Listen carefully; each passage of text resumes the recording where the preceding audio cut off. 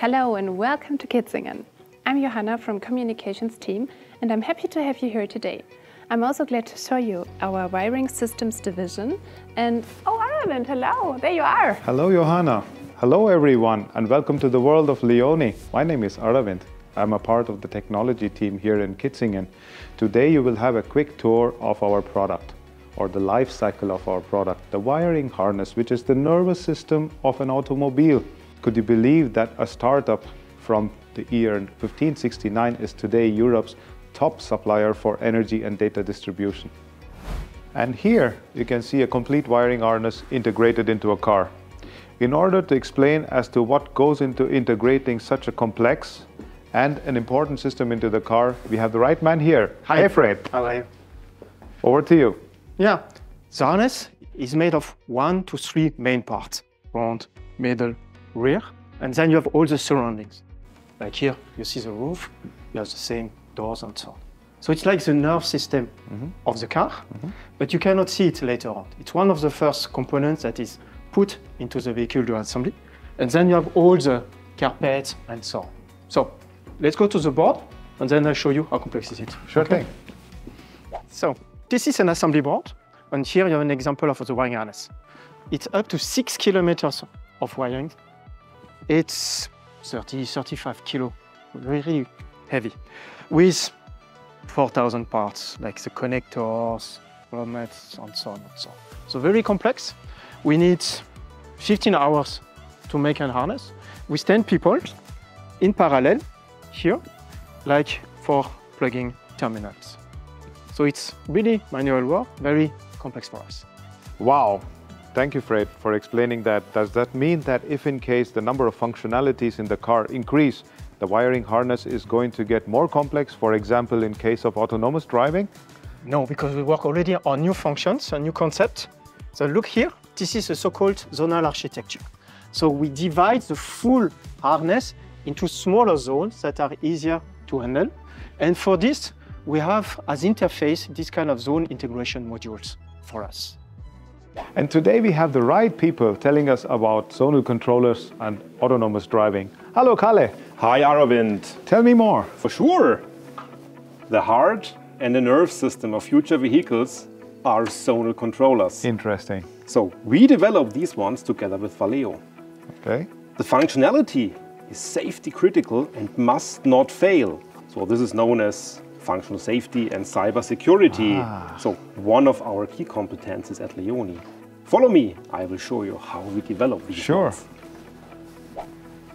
Based on customer requirements and our own requirements, we create here the system specification and the system architecture. What we can see here on Matthias' workplace is the result, the outside view of our product.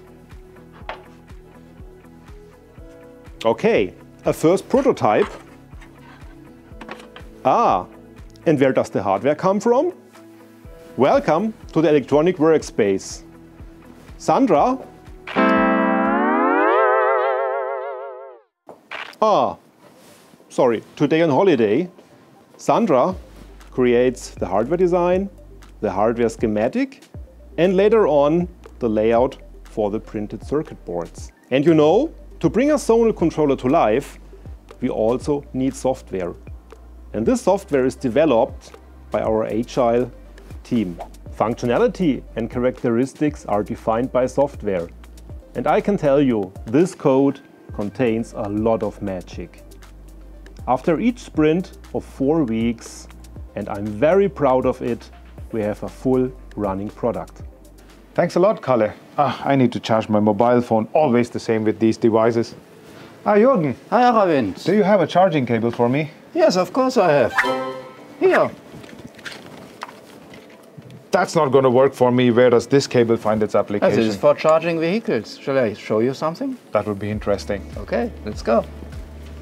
So, this is the charging cable from within the vehicle. And because you need 10,000 times more power than you need for your iPhone, you need to have thick cables, you need to have thick connectors.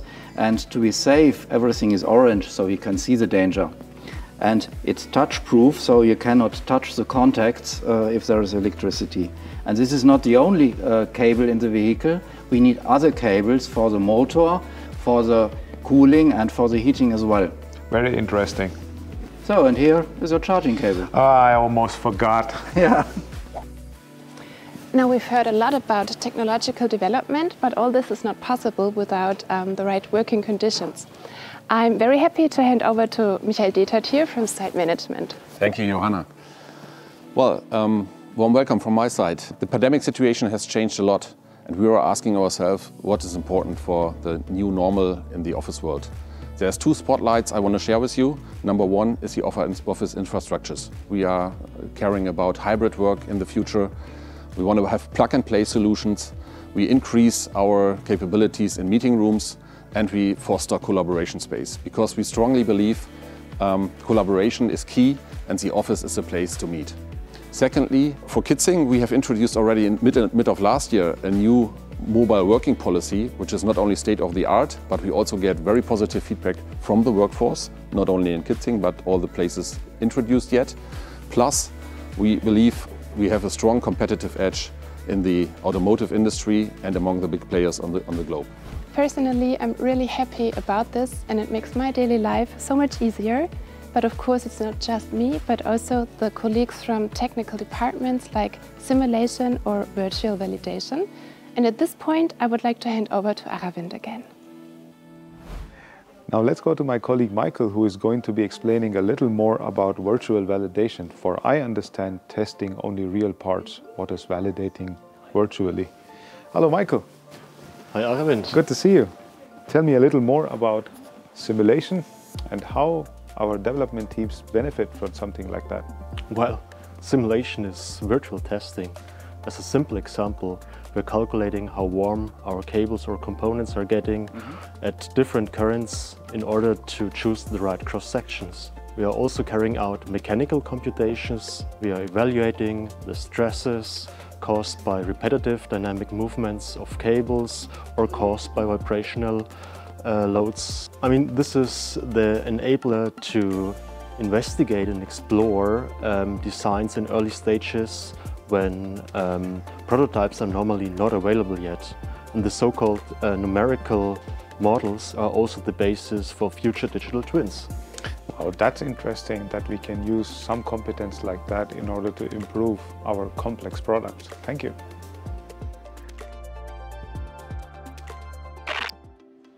Back to reality, we are here in the prototyping workshop. In order to get real parts, we have the 3D printing technology. Hi, Sigi. Hi, Aravind. With the 3D printer or the SLS, uh, selective laser sintering, we melt nylon powder using laser in order to get components like fuse and relay boxes, cable channels, or big housings. As you can hear, it's very loud. In order to produce testing components and prototypes, we also use the CNC or Computer Numerical Control milling machines. When 3D models are available, parts which are made of steel, aluminum and plastic uh, can also be built here. What can also be built are testing components or fixtures for tightness, mechanical and vibration in the laboratory.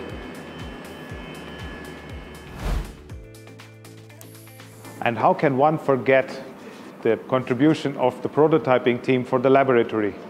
Here we have the biggest speaker in Kitzingen, or the so-called the vibration device, or simply put, the shaker. The test and validation team tries to just imitate the chemical, the electrical, the mechanical and the environmental effects an automobile goes through onto a harness. And here we can see that the shaker is trying to imitate the vibration effects onto the harness. It's just that simple. The vibration effects can be constant or they can be smaller jerks called the shocks. And here you can see that it is very loud because we are testing too many components at the same time. There's the first climate chamber. We have packed in the smaller components. There you have the next climate chamber. This is also connected to the next climate chamber and we have another climate chamber. We can go to the next one where you can see smaller climate chambers. And we have another climate chamber there connected to the test tracks. We have so many of those climate chambers here in order to test our components. Follow me and I will show you many more of those climate chambers and test tracks and the interesting tests we do with them. Thank you, Aravind. Now we know that we have so many climate chambers and test tracks here in Kitzingen. Very interesting. Did I hear climate chambers? So many stations without actually seeing something on four wheels. How does that fit? Well, in order to answer that, we have Joachim here. Hi, Joachim. Hello. Could you explain to our audience what you're doing here and where we actually are? Sure. Hello and welcome to the Vehicle Measurement Lab. My name is Joachim. I'm a test engineer and we are responsible through everything that has to do with measurements under real conditions or on vehicle system level. Primarily, we deal with series fusing of our products, wiring harness, fuse boxes and so on, in prototypes. Which vehicle? Top secret. Furthermore, we also take care of research topics, from testing of in-house developments to benchmarks and stress tests of on-board power systems.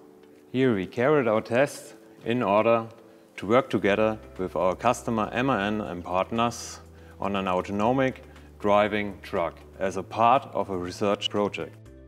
And in order to understand the benefits of development support, we need to talk somebody to the serial development team. We have the right man here. Hello, Daniel. How are you Hi. doing? I'm good. Tell me a little more. Um, service team provides us um, with the optimization and we implement it in the drawing. Here you can see the harness design, which is the basis for our production. Wow, that looks a little complex here. Can you explain what is the content of it and how does the production team get to have data so that they can produce? I can show you. Here you can see um, components in the drawing and also in the in the harness design. We have connectors, we have boxes, and we have fuses um, visible. They are connected via the, the wiring harness, which is marked in yellow. And we work closely together also with the customer to optimize the harness to make it um, for a specific vehicle and then provide um, the data for the plant, which they um, use to be prepared for just-in-time and just-in-sequence production. Now that was a lot more clear. Thank you. You're welcome. Normally, you, you could not even enter this door, but you're lucky because today we're making an exception for you. Welcome, Johanna. Thank you. Hi. In our Innovation Industrialization Center, Klaus Holt and his team are researching on processes and technologies that could be rolled out in our plants worldwide in the future. Klaus is the absolute expert in this, and so I would like hand over to him. Hi, Klaus. Um, could you tell our viewers something about the core of your daily work? Absolutely. Thank you very much. So basically what we do here in the ISC is to develop uh, solutions for processes and products, of course. And we have to ask ourselves, uh, what is the market doing? What are our customers doing? So basically what we have developed here is a machine which is able to produce a zonal harness fully uh, automatic, so 100% automatic. And basically it's the first machine, it's really unique on the world. We are absolutely fans of simple solution and here you see a cobot and uh, the cobot is equipped with a camera and uh, we use artificial intelligence in order to check our product.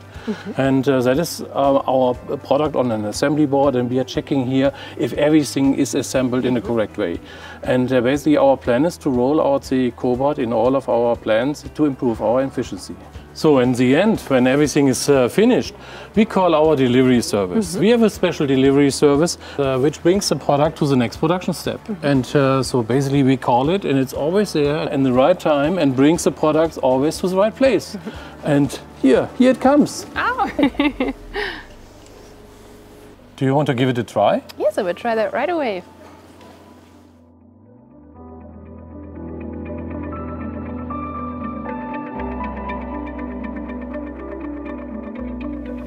Pretty cool to see these technical solutions coming to life right now. I'm really curious about the further projects and all best for them in the future. But what about our future? Let's see what our new talents are doing right now, because we offer a wide range of opportunities for them.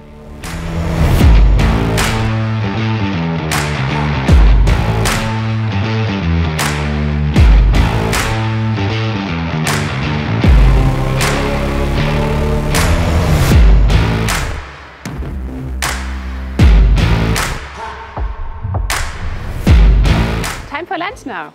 Uh, we have our own canteen in Kitzingen that cooks really well and it makes me really happy because so I don't have to bring food from home. Remo, that looks really delicious. Thank you. That's why we totally avoid conservatives or official flavors. Mm. We don't sell um, soup from the packet, um, fatty french fries or some other. We cook really tasty meals like fresh burritos, vegetarian bowls or homemade pastas. Wow, that looks really delicious. Can I have the chicken sweet sour with some rice? Yes, for sure.